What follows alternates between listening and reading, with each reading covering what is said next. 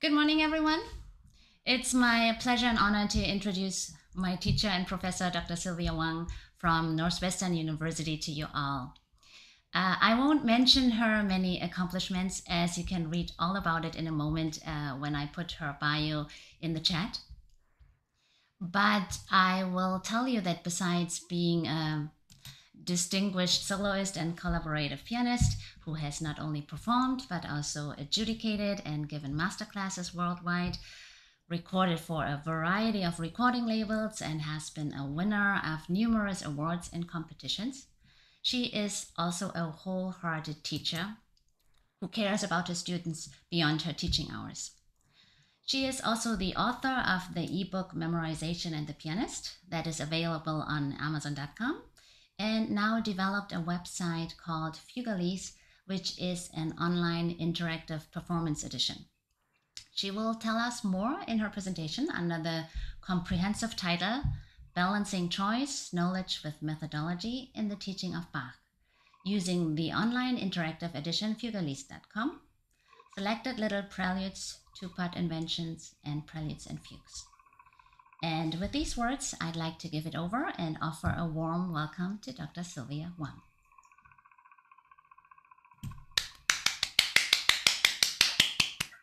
Thank you, Yumi. This is uh, almost embarrassing for me uh, to be spoken of in these terms.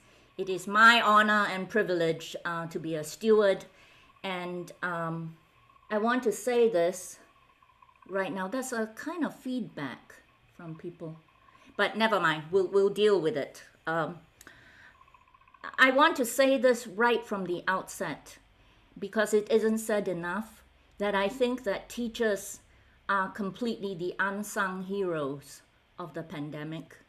Because when everything shut down, nobody really taught us that much about how we were supposed to critique sound and watch motions over the internet. And somehow we all managed. So I think we should all pat ourselves on the back very vigorously. So I want to thank Yumi and the CAMTA organization uh, for having me. And when I signed the disclosure and the forms, you know, it's, I, it's, it's very complicated. I, I hadn't realized it had gotten so official. Um, I want to assure you that when I did uh, my Fugaleze, it was really not with the intention of getting rich.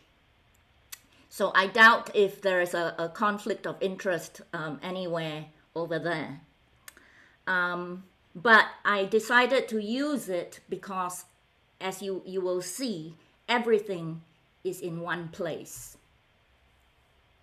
I think this presentation has its challenges um, because of wide-ranging interests and uh, uh, um, we teach a wide range of students and I think there is, um, for people of a certain, shall I say, vintage, uh, we have a mistrust of many things that uh, smell of technology, especially after the year and a half that we have been through. I want to start out by explaining the title, starting with fugaleze.com. What is fugaleze.com? the um, you know if you do a search online it's listed as an online interactive edition of the works of bach. That itself is a little bit baffling. How can something be uh, interactive when it's a, an edition? But you will see um, how this works.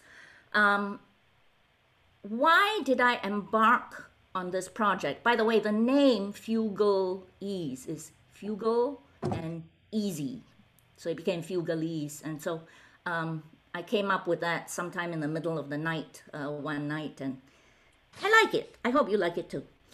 Um, the project has really been in my head for many years. And it started brewing because of my observations um, of students, young people, children older college students who study and who teach Bach. And even for myself, you know, um, observing that students would bring in additions. and uh, they were some of them were over edited. Some some some of them who brought in the Henle had no idea how to approach this or how to add the personality and um, the musical and um, uh, all these stylistic choices uh, before they started playing. So it was a question of a lot of guesswork, and sometimes some, sometimes it was a little bit of you know monkey see, monkey do, so that there'd be a lot of copycat uh, business, which is I think not so bad when one is very young because one establishes a sort of baseline. But then it become it becomes a little bit. Um, I think problematic as one gets older and one wants to establish kind of independent thinking. Many students would also arrive at my door two days prior to an audition and expect me to wave a magic wand when they played their pieces, and then they'd be ready uh, for the audition and get in. Of all the, the um, styles that they offered, I always found that the Bach presentations were most troubling. I mean, really, really troubling either horribly romanticized or with nothing at all, really um, on each side of the spectrum. And very few people were in the, I, to my mind anyway, because of course it's all subjective, um, an acceptable range um, of freedom as well as style and knowledge. So one day, many years ago, actually about four years, I had dinner with a former student of mine by the name of uh, James Cameron Dennis, who Yumi remembers. There's even a picture of her at graduation with him. And um, I discussed these ideas and how I wanted everything to be in one place. He's really quite a brilliant chap now doing his uh, DMA at Penn State, just started.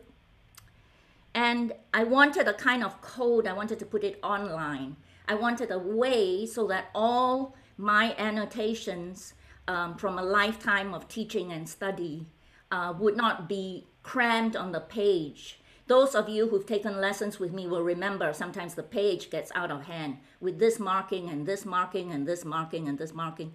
And uh, it's so crowded that sometimes I wonder how anybody can see anything at all. Well, this is definitely what we don't want from Bach because we want it to be sort of optional. Suggestions are there, and then you take them as a point of departure.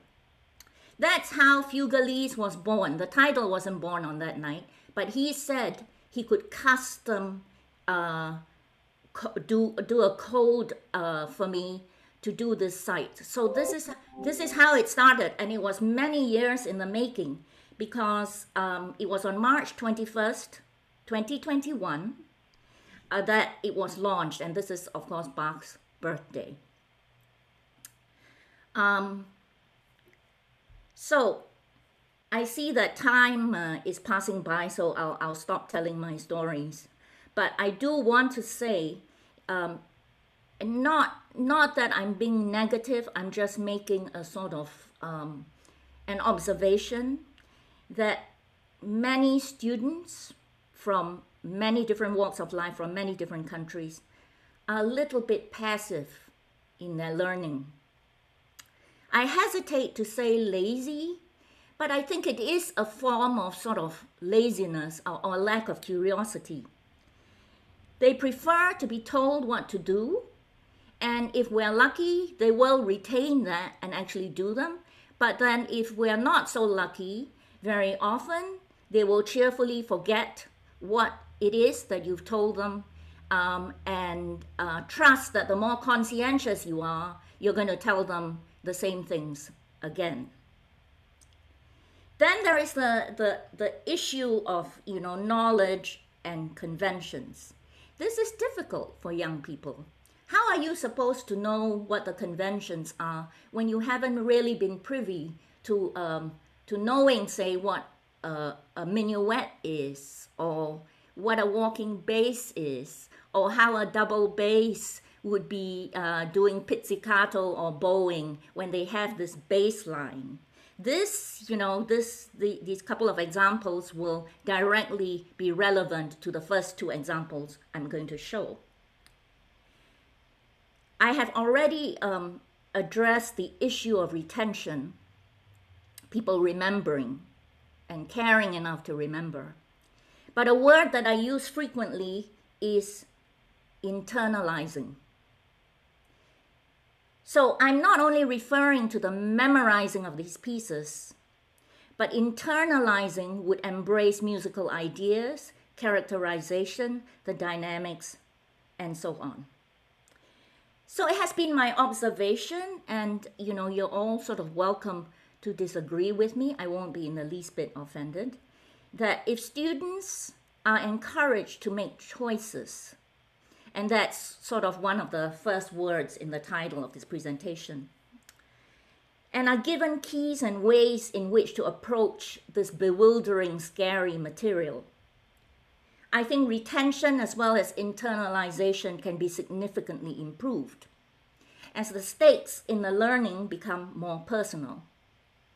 In short, by integrating all these factors, I think the study of Bach becomes kind of a holistic experience. You can't just wait for somebody to tell you what to do. You can't just say this is what what it is. There is choice, there is method, there is taste, there is personality. Um, and if we understand all of these things and we're not afraid of them, then we remember all of us remember, the students remember, and they also retain. I'm going to spend most of this hour using musical examples from Fugaleze to illustrate the three parts of the title. In the process, we're going to reference types of analysis and their uses, articulations, dynamic choices, the learning tools, and even memorization. So from this point, I'm actually going to share my screen.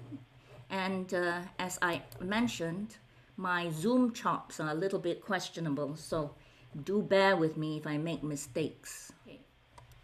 So that's the uh, little prelude in D major, which I'm sure most of you are familiar with. Now, um, I just started working on these little preludes actually, and um, they are generally assigned to children as an, a sort of early intermediate introduction to Bach. So, as such, I decided not to flood it with a lot of analysis, but concentrated only on showing recurrence of principal themes in the simplest form, overall key areas, sequences. Generally, these sorts of things are not open to a lot of discussion. Like a theme is a theme, and when it shows up again, it shows up again. You can't say that theme is not a theme, you know. So facts uh, are really not open to interpretation. Ah, wouldn't that be nice if that's the world today? Um, as we progress through more advanced works, though, you will see that this aspect of um, the, the, the, the knowledge of something, and even though as it becomes more and more advanced and involved, it will affect uh, choice inter- and interpretation. So one of the first things I want to do is actually to play you my two listening examples. And here is the selection panel and under practice tools, okay, suggested listening, right? And then if we scroll up,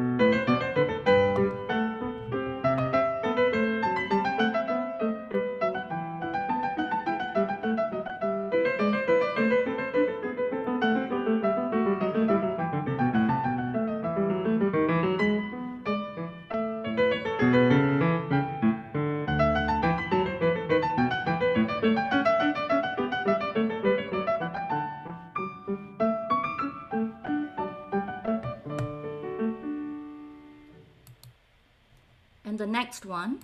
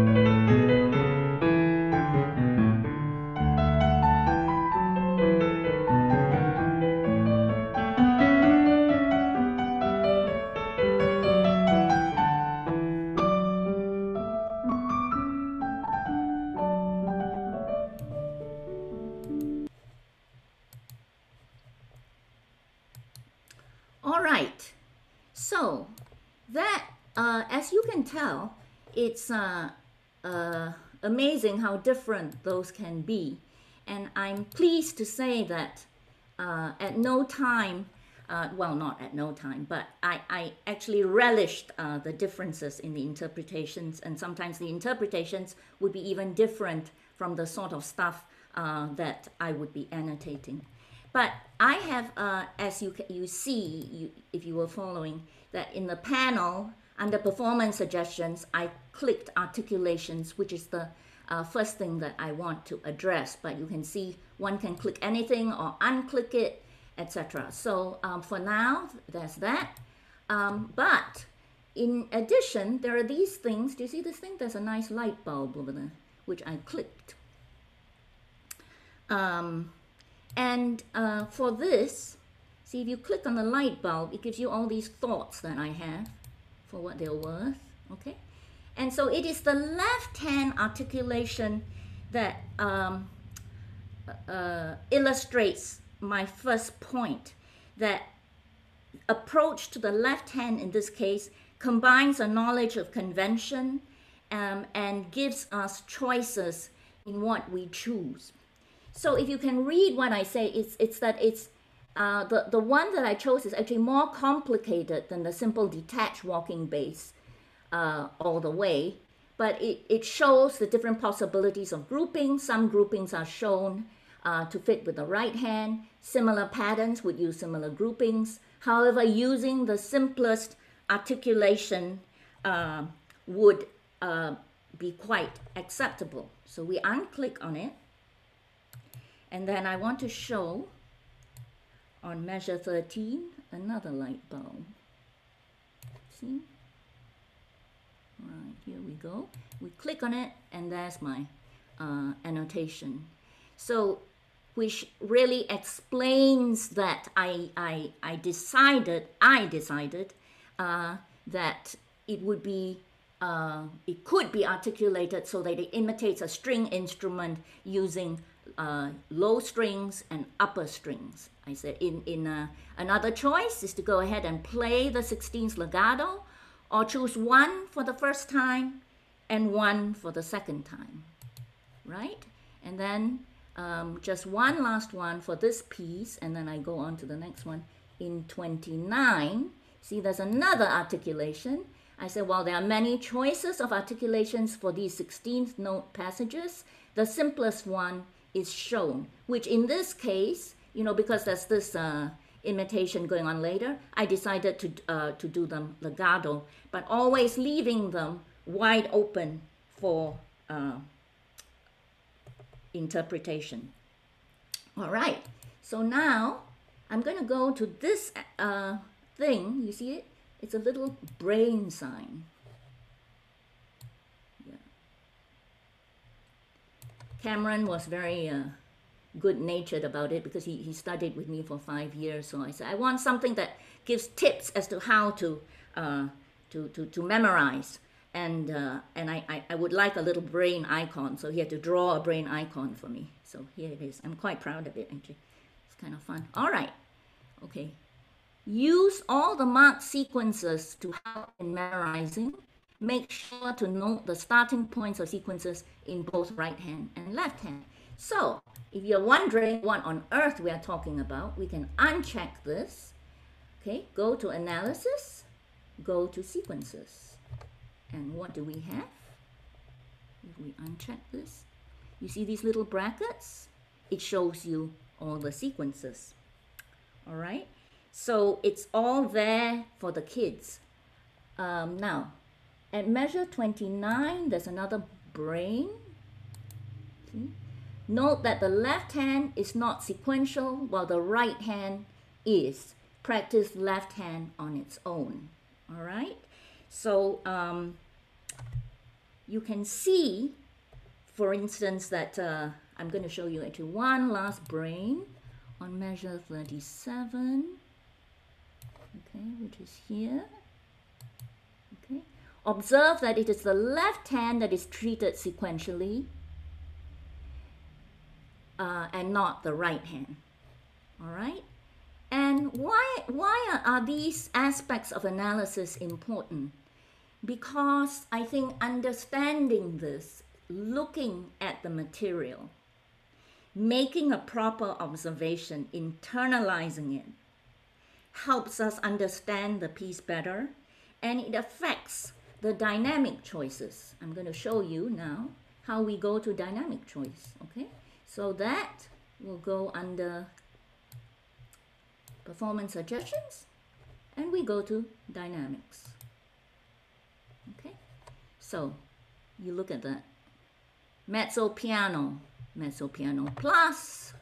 I want to say that uh, once again, Cameron was very indulgent because when I thought of dynamics, I thought when you look at the uh, performance of Bach, first of all, we do want the nuancing um, uh, on the wonderful keyboard that we have or the pianos that we have. But you, you can't really overdo things because then you're going to be accused of it being uh, romanticized. But then I found that within that limited range, I needed more subtlety. So um, in order to do that, you know, you notice that all these plus and minus signs. So it goes from pianissimo, pianissimo plus, piano minus, piano plus, and so on. Um, and uh, what I'm saying is that these choices were not sort of plucked from the air, they were not random, but they were really um, to do with what was on the page, the understanding and the knowledge. All right, from this point, I'm now going to go on uh, to the C minor little prelude. So we go to the library and little prelude in C minor and we let it load up. Okay. All right, so here it is. And the first thing I want to do again, and these are quite short, so I think we can afford the time. But um, so we go to practice tools and we go to suggested listening. All right. All right. Some of you may even know this gentleman over here.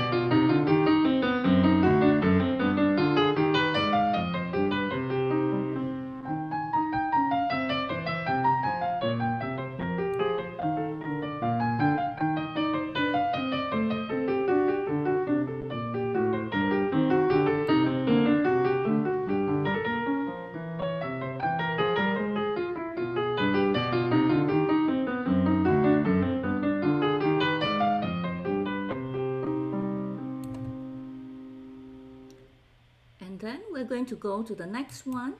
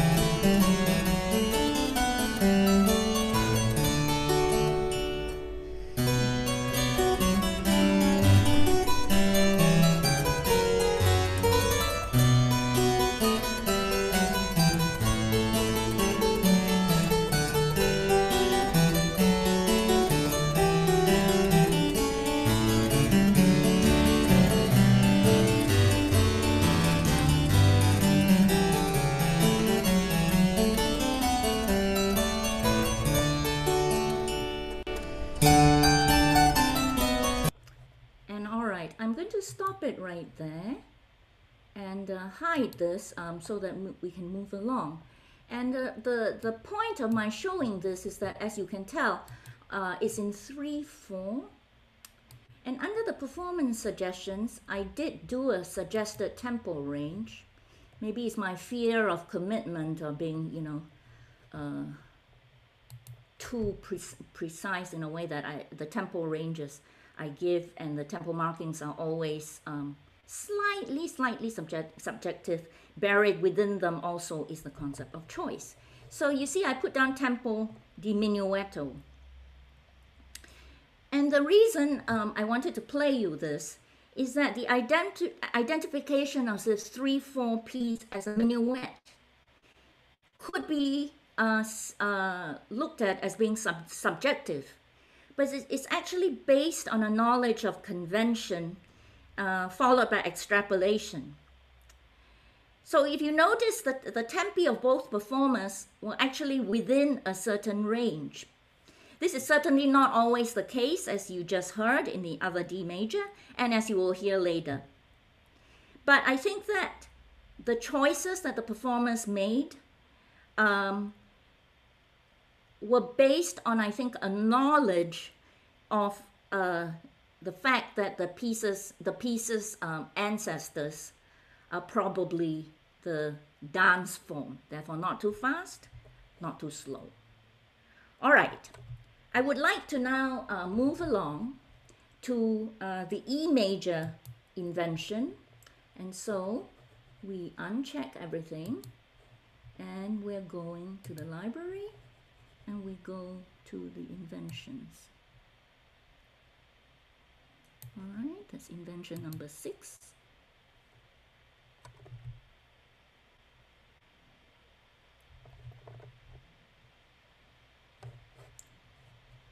Okay, the reasons why I selected this um, for today, um, one reason is that I, I actually really like it. And second is that as you will hear, sometimes, just sometimes, even the determination of what is the theme, what one is going to play louder than another, um, is not completely ob- objective. So, um, I will start by playing both examples. So we go once again to practice tools, suggested listening, and that's my favorite Andras Schiff. All right.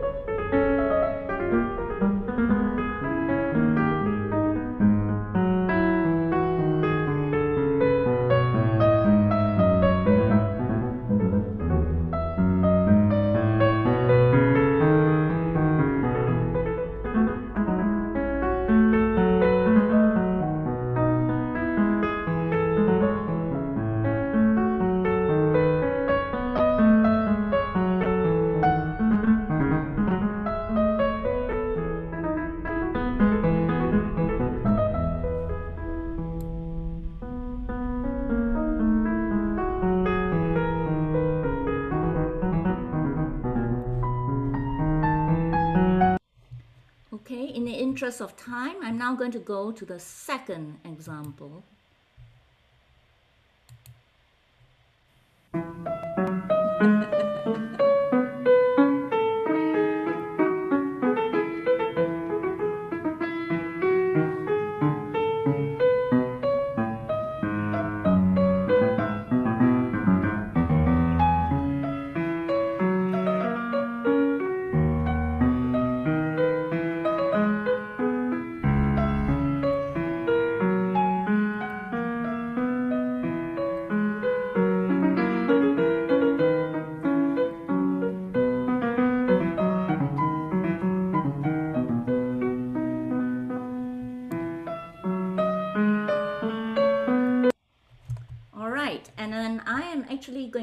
Stop it over there, um, also in the interest of time. I'm going to uncheck this. And uh, you can hear the signature singing of Glenn Gould, right? Uh, I, I remember actually teaching once and suggesting to a student that he might want to consider uh, not singing. He said, Why? So that I don't sound like Glenn Gould. So you see, it's actually uh, commonly known. Right, so now I'd like to show you these famous light bulbs. And uh, as you heard in those two examples, uh, the tempi are very different, the uh, articulations are very different, um, and even the approach to what is the principal theme, I think, uh, is also very different. So here I say both themes are of importance and both can be heard easily given that one is offbeat. There's a strong case to make the theme on the beat the principal and the other the secondary, um, which is, I think, what Andras Schiff did. He actually made the left hand louder. I say a good way to reinforce the two themes is to make a decrescendo in the descending line and a crescendo in the ascending one. And um, I think earlier you could see that um, I showed that uh, uh, the articulations and the dynamics um, can be selected and can be shown or can be uh, removed. So this has all the bells and whistles, the brains and the bulbs, etc. But I'm now going to move on to another example, um, which is actually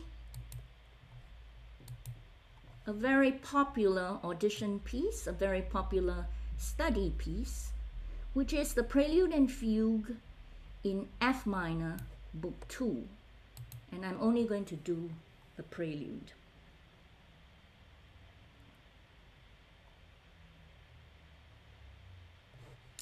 All right?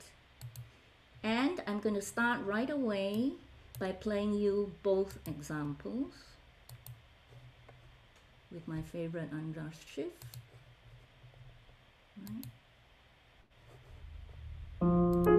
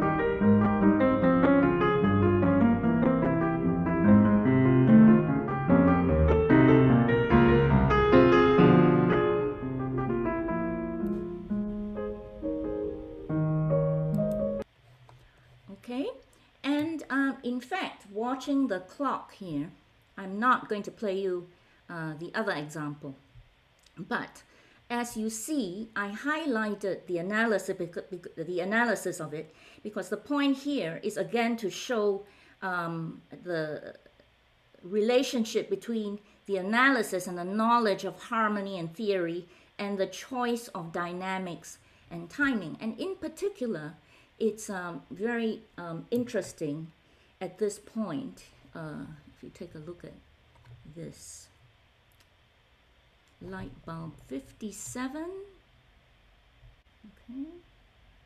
If you take a look at this yeah. So if you take a look at this over here instead of a C in the bass we have a B flat. All right? And so I mean it seems like I'm being very pedantic but I am absolutely amazed how sometimes students don't actually notice these really major um, differences and um, I had it said to me actually um, back in London, uh, you know, they're much uh, more blunt, I suppose, when my teacher said, there are these stunning surprises going on, and you march through them as though nothing untoward were happening. Sounds very British. But in any case, uh, the surprising harmonies of these two, two measures pose a question. So it's right here. So in order for you to play it so that it sounds like a question, you have to understand that it is a surprise. So we go to here. Okay. And it says the question is answered with another surprise deceptive cadence. Make sure to place this deceptive downbeat. All right. Now, um, I'm now going to go to the brain of this here and I'm going to show you at measure 40 here. Sorry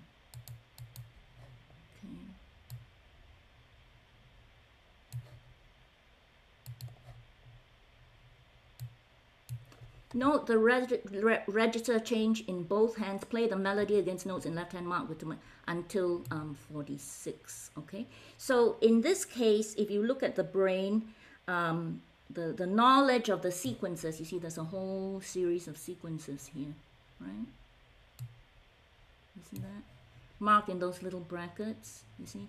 So those are, um, I always make a point of pointing them out um, to students and also on this site so that people can understand that um, when you understand that the sequences uh, exist, then you can choose what you want to do to show all the steps. All right, now I'm going to show brain at 48. All right, we're going to look at this. Okay. This is the first time that the left hand has this material. Practice left hand on its own, noticing the falling lines in both tenor and bass. So one of the things you can do with this, although it's not so uh, necessary here, is that uh,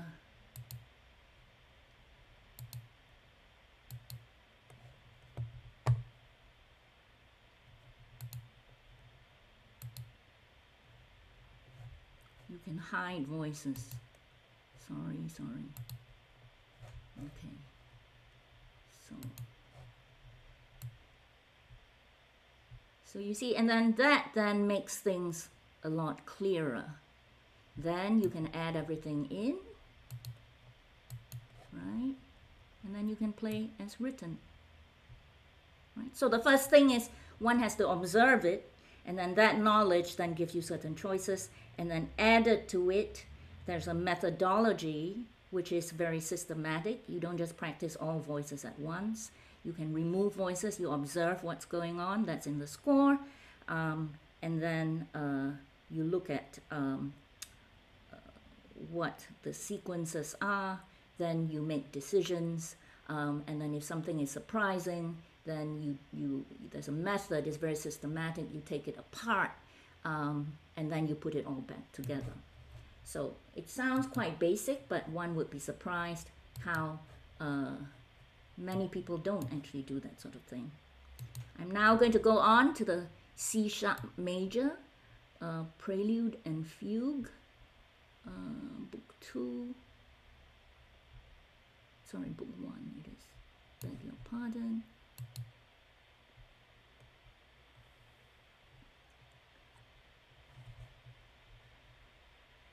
Okay. We all know this, right? Okay, so now we're going to go to practice tools. Once again, suggested listening. All right, and this is the beautiful Myra Hess.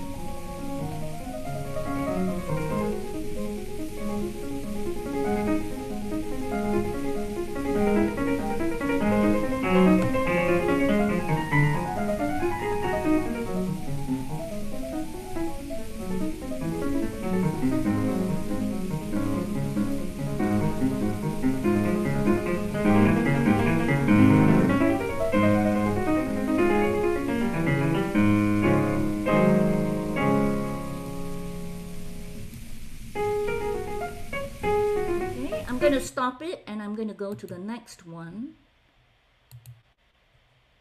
And you will hear it's very different.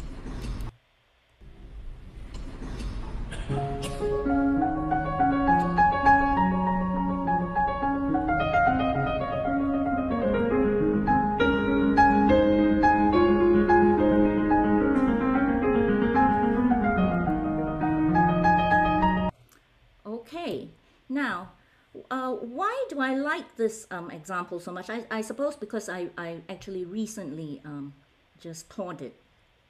So I want to actually show you first the brains, and this one is to show harmonic analysis and the dynamics. So I'm going to leave the dynamics on, and I'm going to go to the harmonic analysis, which is the keys and the Roman numerals and the sequences. Okay. All right. Right, and then I have the brains. Right, so I'm going to show you this thing at measure 17. All right, which is until 31, a giant sequence of the first. No, I beg your pardon. That one is uh, right here. Yeah. Uh, yes. Until 31, a giant sequence of the first 16 measures one step. Now, this is important to observe because it makes um, it easy to make a choice in terms of the dynamic. So you look at this. I opted to say, okay, we have mezzo piano to start with. The next thing is a giant sequence one step up. So what do we do? We go to mezzo forte in the uh, right hand, which means that we are reflecting the step up with also a step up in the uh, dynamic. Um, and one other thing I want to show you towards the end, and that would be a light bulb, and we're about to run out of time. And if you take a look at this, I don't know why this stuff. So you may choose to roll all chords or just final chord or not roll any. So where does this come from? So people may not like to have this amount of choice, but um, this comes from understanding the principles of articulation and uh, that, that one has choices and also of conventions. And you ask me, uh, well, how does one learn about articulations? And in fact, it's all here in the overview. All right, and you go to here, see, and it is all there. They don't even have to call it up on the phone, right? So you see, it's all there, all the choices, etc., etc. Uh, I wrote that. I didn't actually steal it for your information. Um, yeah, and I also want to show you, you know, this business here, how to use Fugaleze uh, in case people are sort of baffled by all this moseying around the website. So we are about to run out of time. Uh, it's amazing how uh, all these presentations actually take longer than you think, and uh, I had actually way more material than I needed. So we're gonna get rid of this. We're gonna get rid of this. Okay, and now I'm going to conclude with the C major prelude. So we go back to the uh, library and sorry, sorry.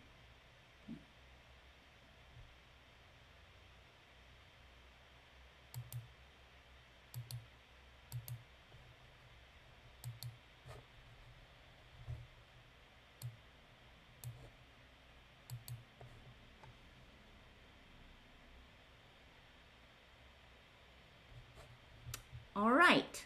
So very quickly, I'm going to tell you why it is that I selected this for you. And, um, and we will conclude then with a performance of this. You know, I've taught this piece many times. I've even played this piece uh, several times. And uh, one of its uh, quirks is that it's actually quite hard to memorize.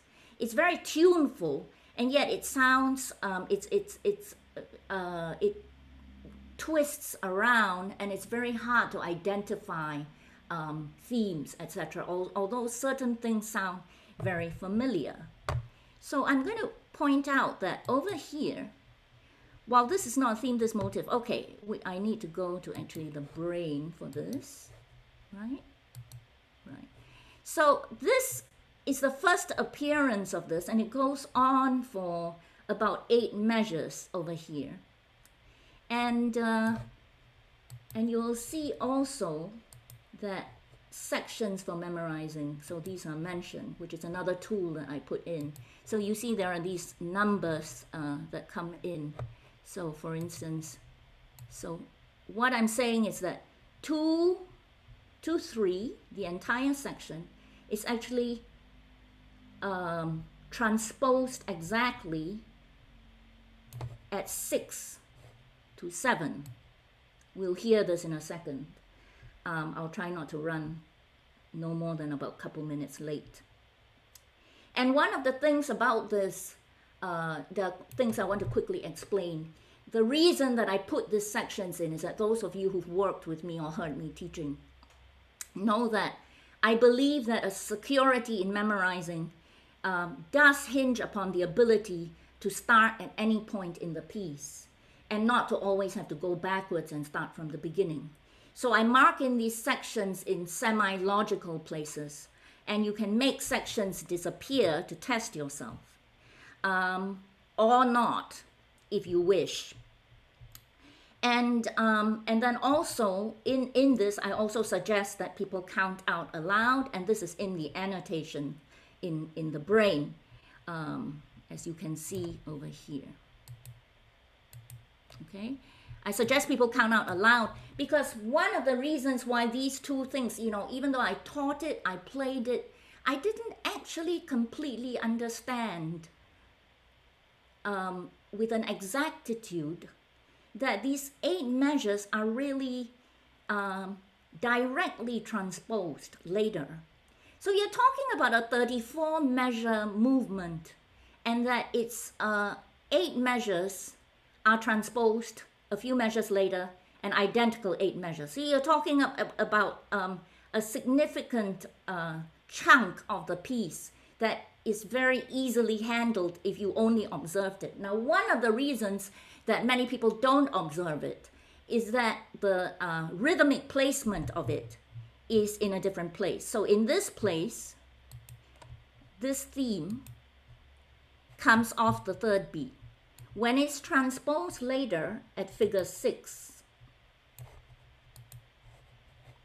sorry, very ungainly, three, four, five, six, yeah. You see it comes off beat 1. And then the voices are also aligned in a slightly different way, but all the pitches are identical.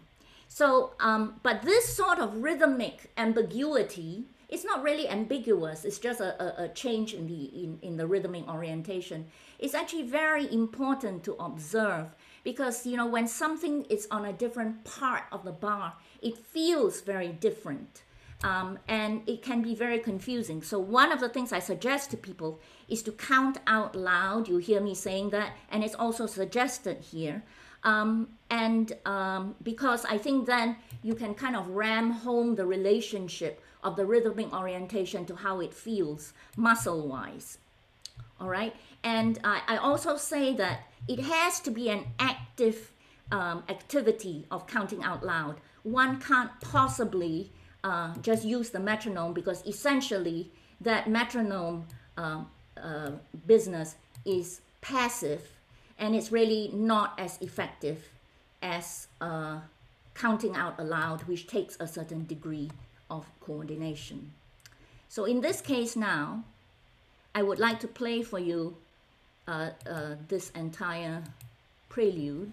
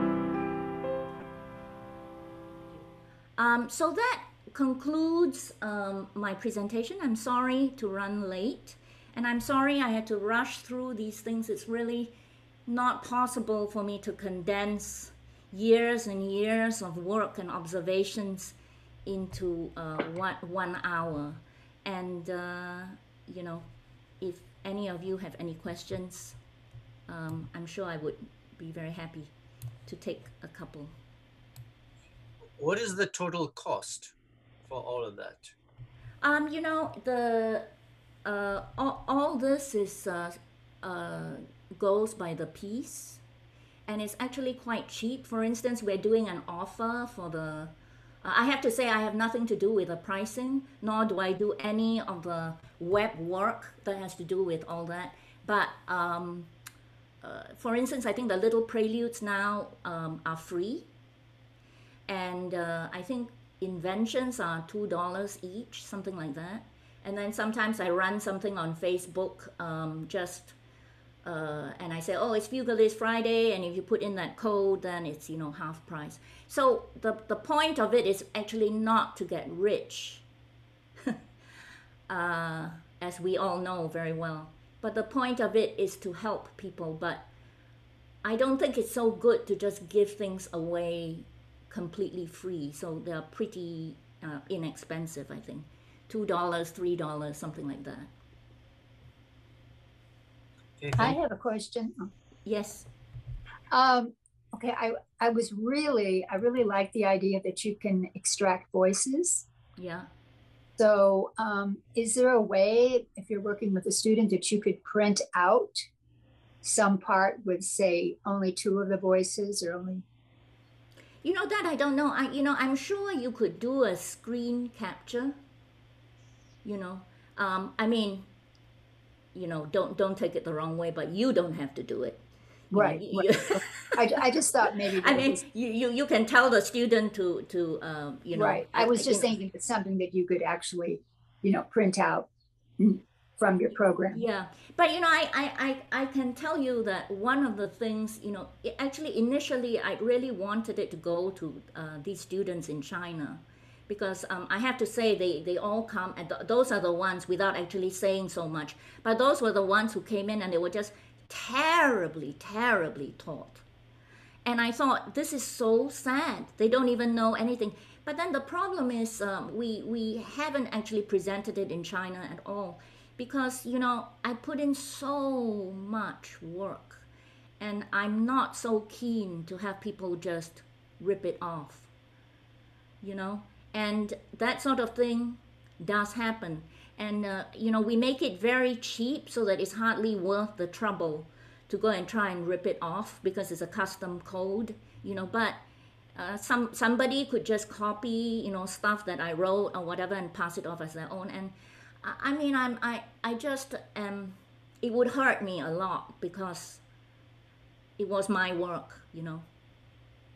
So, thank you for your question. Any more? I'm so sorry to run late, but I do have technology questions for you, but I'm wondering if maybe I should go to the website to have those answered. uh yes, you you you could go to yeah. I I'm not I'm not the best person to to uh, talk to you about technology because the division of labor between me and Cameron was very clear. Um, I did all the content, um, and he's very good natured. But you know, can you imagine the drawing of slurs? And he's about to change all that actually so that it looks even better. You know, the drawing of slurs that you know, even to do the tempo marking took him a day to write the code for that so that I can I can type in everything. But it, it's it's been a three four year project. You know now it's a little bit easier, but then you know things go wrong, and then you we, send these emails back and forth. Um, but I, I I would say in terms of my lifetime accomplishments, I am pleased that I can present this because it's a little bit like I'm teaching, but I'm not actually there. And, um, you know, I, I don't claim not to miss anything or that there won't be mistakes. Or, you know, as you know, with technology and code, uh, very small things can result in mistakes. And we try to clear all of those up, but sometimes um, not uh, enough, as you know. So, um, you, you can certainly go to the website. You have to log in. I, I think you you know, and uh, but anyway, All right, I'll, I'll hand it over back to Yumi. Congratulations. Um, I think Thank you. Susan Baker I had one more question very quickly. Uh, Sylvia, I just want you to know as soon as Yumi told me about that, I created my account instantly. And um, your work is stunning. It's beautiful to use it. Um, for anyone who loves analysis, this is a dream. Um, I just want to make a comment that one time early on at Northwestern, I remember, I, I can't remember it was a Northwestern Western professor. I'm glad I don't remember. But that person said offhandedly, no one should ever study Bach unless you study with somebody who really knows what they're talking about. I wish I could go back and now tell him about Fugaleze. I can't remember now. I, I, I want to thank you all for being receptive. I mean, this was sort of a, a crazy thing that I embarked on. Cameron and I both embarked on, and um, uh, thank you for your kind words. Yumi? Um, Dr. Wang, thank you so much for that wonderful presentation. Um, you said it already, but I was thinking while watching you how much work it must have taken to put all these little details in for every piece. And um, it's interesting that in the overview, there's written this um, website was created for students. I think it was created also for teachers because you will make life so much easier for us. And I was imagining how when I go into my lessons with my iPad and can show my students, um, this is the new piece that we were going to study, and here you have some videos that you can compare, and we will talk about your choices. And then you have all these options. Here are some articulations, here are some fingerings, um, and you can analyze it. And then the bulbs and the brains, it's wonderful. And that you don't have everything together because it could be too much, but you can um, choose it for that student or for yourself so um, this is really an innovation. It's it's really great. Thank you so much for sharing that with us and to guide us step by step how to use it. Um, I'm sure many teachers will be inspired and have ideas how to use it. You know, I want I want to say one more thing. Um, this doesn't take the place uh, of a teacher, but I think it can make the process a lot less frustrating because yes. you you know um, you know there are fingering suggestions i didn't show that and i tell you that's the part that i hated doing because it's so much work. I have to go to the i have to go to the piano and see. And then you know then one has to make choices. What are you going to hold? Whatever. And as you know those of you who teach bach that the, the they, they come up with you know the the they practically playing with the noses and the toes you know? And it, it will save the teacher so much time to get rid of the basics. And a lot of students are just too lazy to even analyze it you know? And i've got a very talented college student he didn't observe the counter subject that you know it was recurring. I said do you see this thing underneath it do you see that? It keeps coming back. Do you know what it is? No. And he plays very well. He's very smart. But he's just interested in making noises and not really to, to, to look. So so I want to say it, it, it will save the teachers a lot of time um, and you know just a frustration. It's not supposed to take the place of the teacher, but in case there is no teacher, I think it sure beats nothing. Yes. Okay. Thank you so much um, for sharing this. We were all very inspired. Thank you so much for the audience that you made it. I know it's beginning of the school year. Everyone is very busy. Um, I hope you got some inspiration, and we hope we see you back in October. Have a great weekend. Bye bye. Thank you.